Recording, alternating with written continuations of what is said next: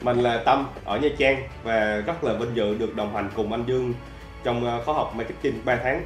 Thì sau 3 tháng học của anh Đăng Dương á, thì mình đúc kết được rất là nhiều kinh nghiệm rất là hay giúp cho các bán hàng marketing của mình hiệu quả từ kênh YouTube và TikTok được tiếp cận nhiều khách hàng hơn. Và mình cũng biết được những cái công cụ và kỹ thuật quay tốt hơn.